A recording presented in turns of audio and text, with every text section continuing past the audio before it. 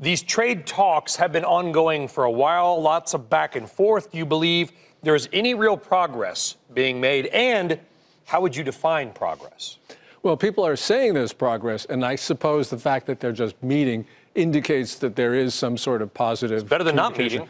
Better than not meeting. But also, you know, the issues are so high, the barriers there Chinese theft of U.S. intellectual property, predatory trade practices, discriminatory practices. It's going to be extremely difficult for the Chinese to say, oh, yeah, I'm going to stop doing all this. So uh, I think that it's going to be very, very hard to get an enduring deal with the Chinese. You know, we pulled out that soundbite, but that's about all there was on China and trade. I mean, in an hour and 20 minute long speech.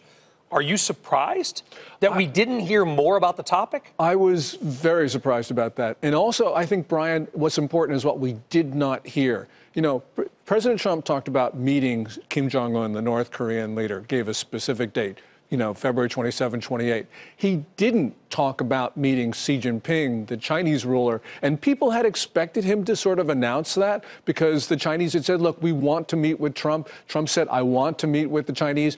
But he didn't actually confirm it. And that's an indication maybe the discussions are more hmm. fluid. They're not as progressed as people think they are. The markets might be in for a little bit of surprise on this one. Bear with me here. The president did, though, last night, Gordon, say that he was going to go to Vietnam, we don't know what city, to meet Kim Jong un, the North Korean leader, at the end of June.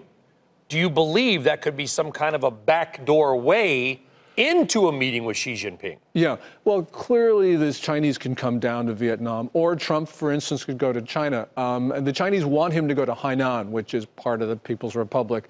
I'm, I don't think Trump will do that. He shouldn't be going to Chinese soil to talk about this. Why If not?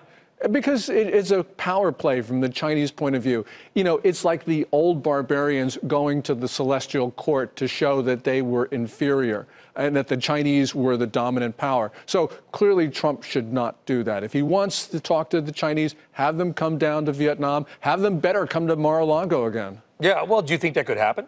Um, you know, it really Because there has to, at some point, be a next step. There's been a lot of talking. Yeah. We've heard a lot about meetings and talking.